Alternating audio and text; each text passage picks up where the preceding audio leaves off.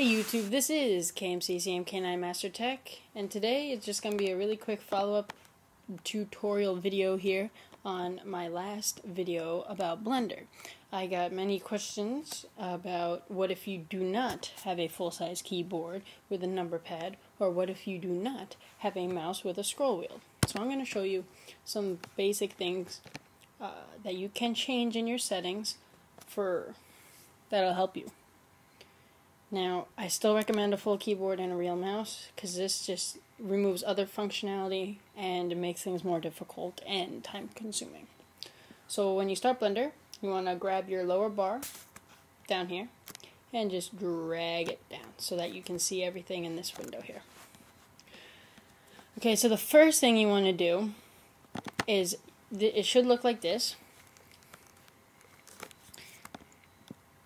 And over here, if you're on View and Controls, and you come over to Cursor with left mouse, emulate three button mouse. Make sure that is clicked.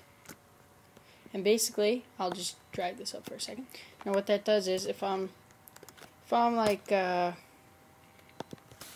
I'm here and I want to rotate, all I have to do is press Alt or Option if you're on Mac and just click and drag with my mouse and now I can move in 3D view just like if I had a yeah mouse scroll. Um, and now for the number pad, you drop down this down again, come in down to the bottom bar, click System and OpenGL. Then under Keyboard, you're going to have Emulate Number Pad. So if you do that, you drag your bar up. Okay, boom, I hit one, two, three, four, zero.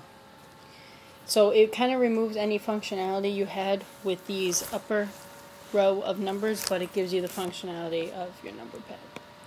So that's it for this really quick tutorial update question answer. If you have any comments, questions, or concerns, please let me know. Send me a message, post a comment. Please comment, rate, and subscribe.